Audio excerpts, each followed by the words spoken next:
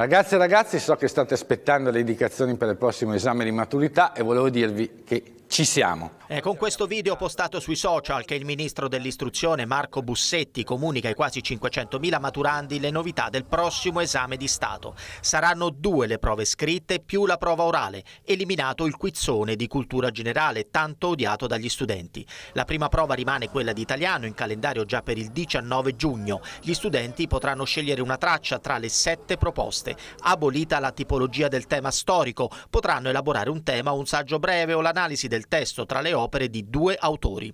La seconda prova scritta invece sarà relativa al percorso di studio, appuntamento per il 20 giugno, ma le materie su cui concentrarsi usciranno già a gennaio. Novità anche per quanto riguarda i requisiti di accesso. Per accedere all'esame sarà obbligatorio avere la sufficienza in tutte le materie, compresa la condotta, e aver frequentato la scuola per almeno tre quarti delle ore complessive.